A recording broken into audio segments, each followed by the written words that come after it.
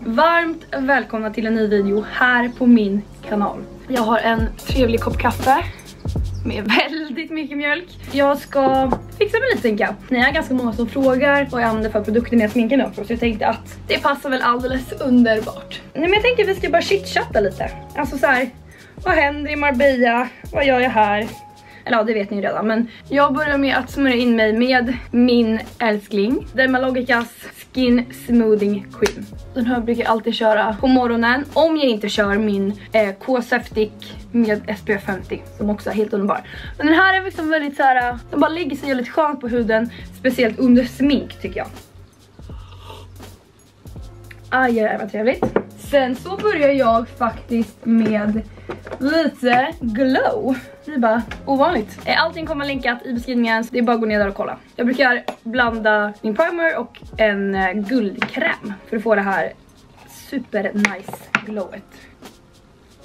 Ni kanske undrar hur har jag det här? Och jag har det väldigt bra. Idag har vi varit här i tre och en halv vecka. Alltså jag har bott här i snart fyra veckor, en månad. Men vädret har varit lite där faktiskt. Sista två veckorna har det varit bara grått typ. Jag använder nästan alltid CC cream och jag brukar blanda två olika nyanser. Det är ju väldigt speciellt att bo sju personer i ett hus och ingenting som jag har gjort någonsin tidigare under så här lång tid. Alltså man har ju varit på semester. Jag har inte heller bott med Fabian heltid. Så det blir också ett liksom, ja men det är ju också ett test för oss kan man säga.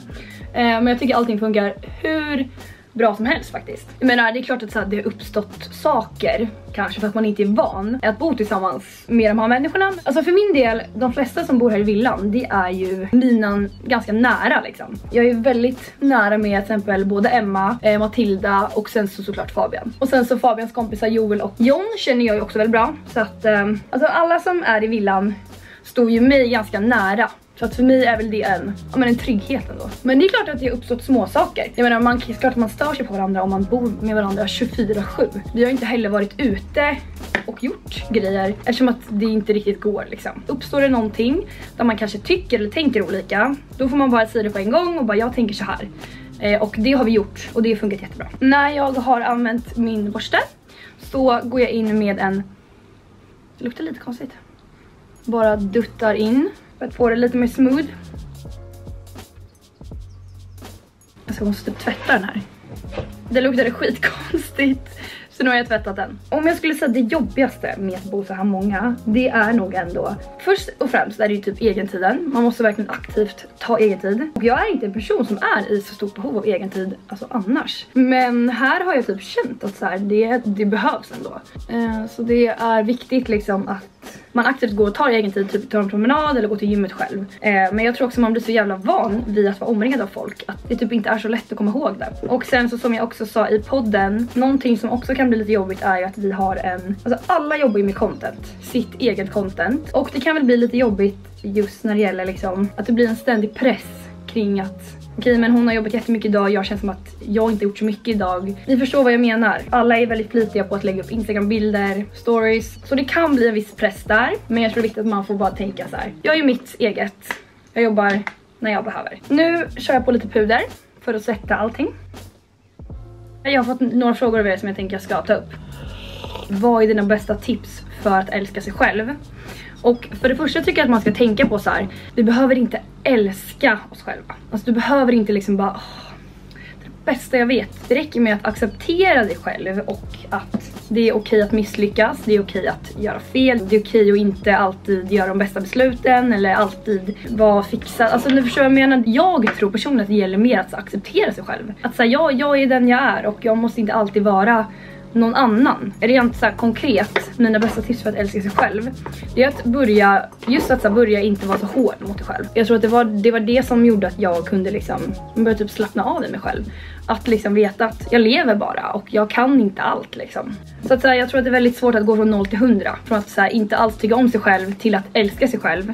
Jag tror aldrig på det, utan mer så här, acceptera, du är inte lik någon annan, du är unik som fasen och det är det som är det vackra. Värdet sitter inte i hur du ser ut, utan det är hur du är som person. Väldigt viktigt alltså. Jag kan vakna upp en dag och bara känna så här. hur fan ser jag ut idag? Mörka ringar under ögonen eller liksom ser hur trött ut som helst, ni fattar. Men sen så kommer jag liksom på att så här, men vad fan, alltså jag kan inte vara så jävla hård mot mig själv. Nej. Och liksom varenda människa ser ut så när de vaknar. Du har ju bara sovit liksom. Alltså, ni förstår vad jag menar. Jag tror det gäller att så här, släppa på den här pressen för att i grund och botten så handlar det om att man sätter en press på sig själv. Det är så mycket press utifrån sociala medier. Ja men det är vi själva som sätter den från första början. Det handlar om att inte lägga den pressen på dig själv utan så här, mer ta ett steg tillbaka och förstå att så här, ibland ser det ut så här, ibland ser det ut så här.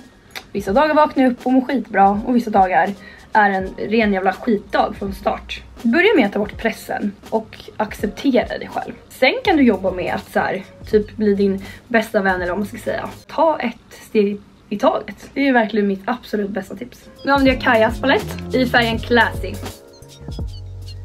Hur ser du på dig själv? Gillar du dig själv? Jag tycker verkligen om mig själv. Och sensar. alltså jag kan verkligen hitta fel hos mig själv. Men det gäller att ändra det fokuset väldigt snabbt. Om du börjar känna så här, fan vad ful jag är. Då gäller det att liksom tänka om och bara nej. Alltså stoppa dig själv.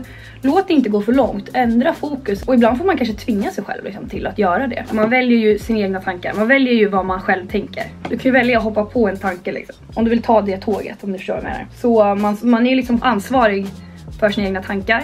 Och det går att styra om dem. Det är svårt. Men eh, det krävs arbete. Men till frågan, hur ser du på dig själv? Gillar du dig själv? Nu drog de igång igen. Eh, jag ser på mig själv som en Eh, jag ser mig själv som en, en väldigt rolig människa. Alltså, jag tror att när jag tänker på mig själv och ser värdet i mig själv då tänker jag typ inte på så utsidan som i så här. Ja, uh, jag, jag gillar mig själv för att jag har fina ögon. Jag tänker mer på hur jag är som människa. Är jag en bra vän?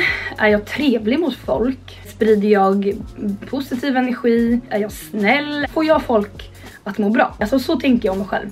Och i alla de här så tycker jag att jag jag är en rolig människa. Jag är den bästa versionen av mig själv och jag vet att jag behandlar folk bra. Eh, det är liksom där jag lägger värdet, inte liksom i hur jag ser ut. Sen kan jag ju absolut tänka att jag har brister. Men jag kan väl mer se facts på mig själv att så här, ja, mina tår är inte symmetriska. Men vad fan gör det? Det är ju bara, det är bara sån jag är. Det är ju sån jag är skapt. Så som jag ser ut ser jag ut och värdet ligger i hur jag är som människa, inte liksom hur mitt appearance ser ut. Jag var väldigt kritisk mot mig själv när jag var lite yngre. Men jag är väldigt, väldigt glad att jag accepterade hur jag ser ut, hur jag funkar, hur jag är.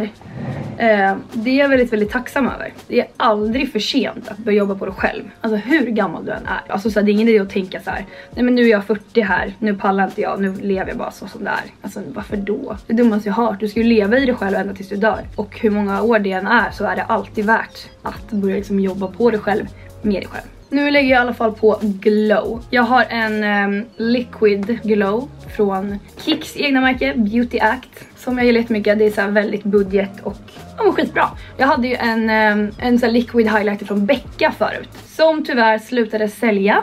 Alltså hatar man inte när man har hittat en favoritprodukt som bara helt plötsligt utgår från sortimentet. Alltså man bara hallå. Sen på den liquid ehm, um, highlightern så brukar jag lägga en vanlig highlighter och det här skapar ju ett jävligt trevligt glow faktiskt. Då ska vi göra lite bryn och då använder jag mig av Anastasias Beverly Hills Brow Wiz. En liten jäkel. Jag har alltså spegel framför mig här, men det kanske ni fattade. Jag vet faktiskt inte riktigt hur jag ska klara mig dock utan min bryntjej här i Marbella. Nu har det ju gått tre veckor och mina bryn börjar ju redan spåra ur.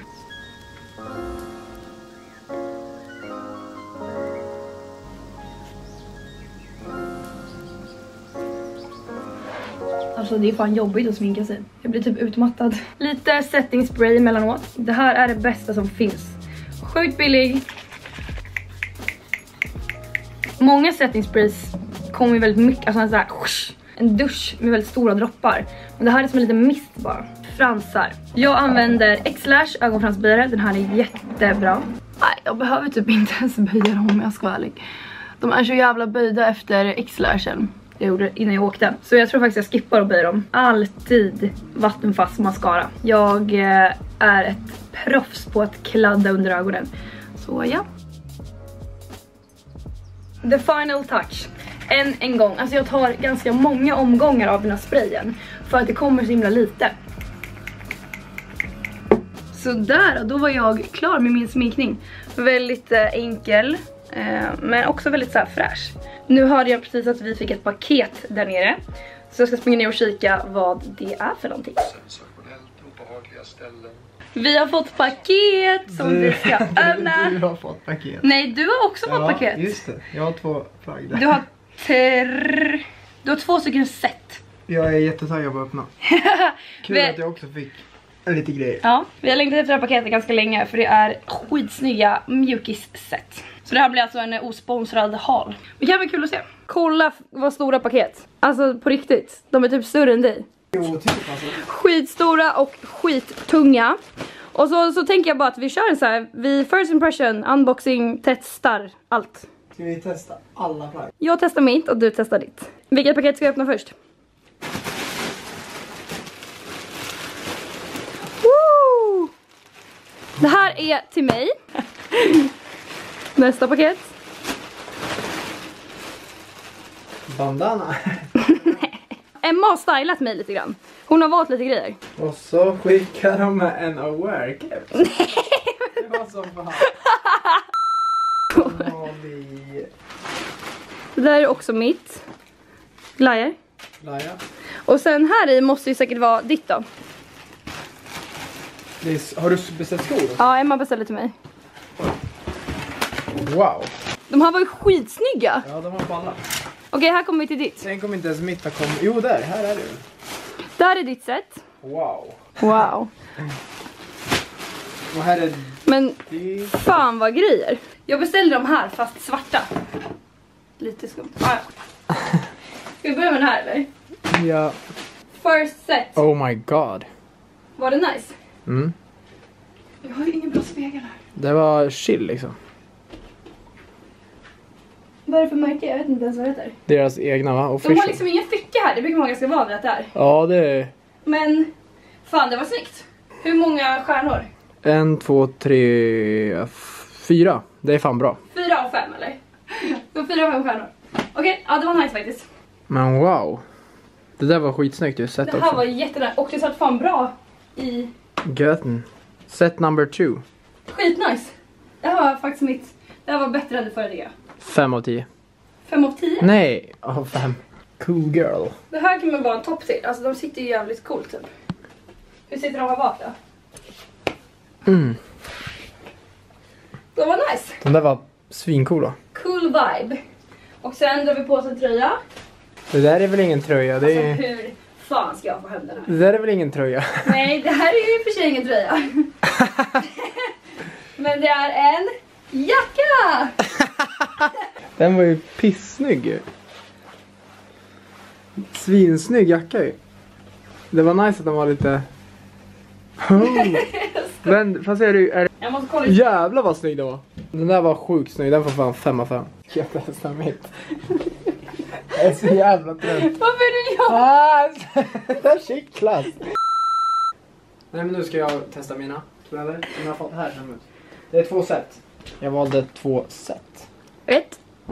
Och två. Jävlar. Det- Okej, det där var faktiskt jävligt snyggt. Det var ett set i sig. Men hallå. Shit. vill ju se. Kolla i spegeln. Snyggt som fan. Det här får faktiskt eh, fem av fem stjärnor. Är det så? Ja, helt ärligt. Satt bra överallt tycker jag. Ja det får Vad tycker du? fan mycket ändå. Fem. Woo! Det här var lite för tight. Vad står det på? Official man.